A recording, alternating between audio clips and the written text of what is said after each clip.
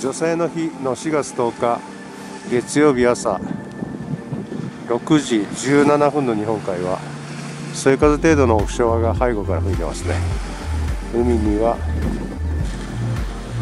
比較的良質なうねりの筋は見えますがショアブレイクですね。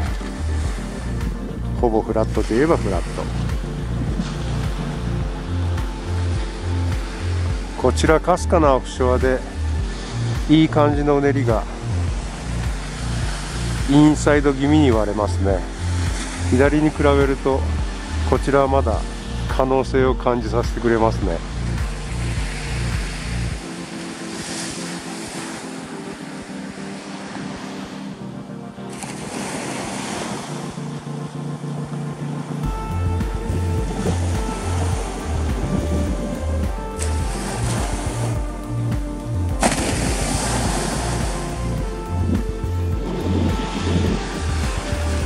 気温は6度ぐらいです。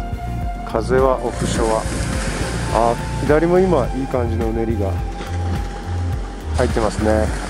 インサイドブレークですけど。今日終日どうですかね？